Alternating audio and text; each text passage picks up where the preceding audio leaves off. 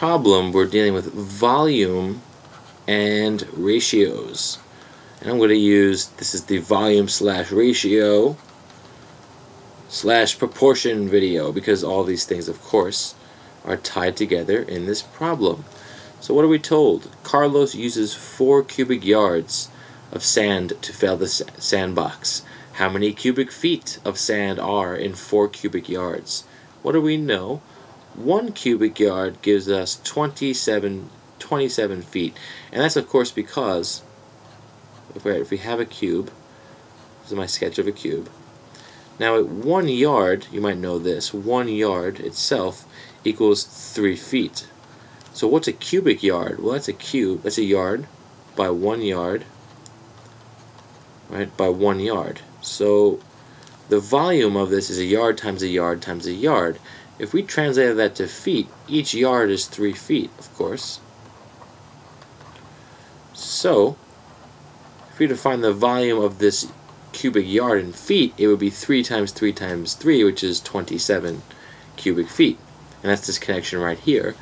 So we're going to use a ratio to, to understand this.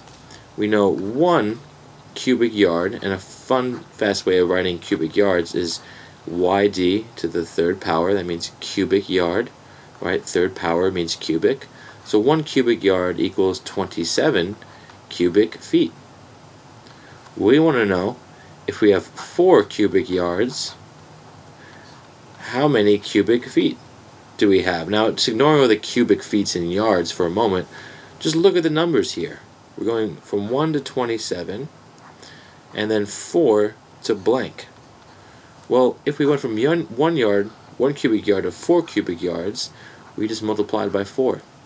So because I want everything to stay equal and proportional, I'm going to also multiply 27 by 4.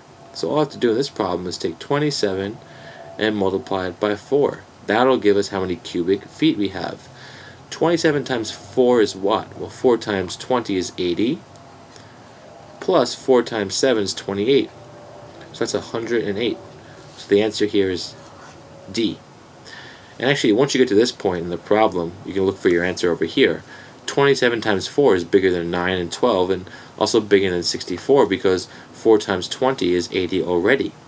So 64 can't be right, and the only answer's got to be 108. Alright, hope this helped.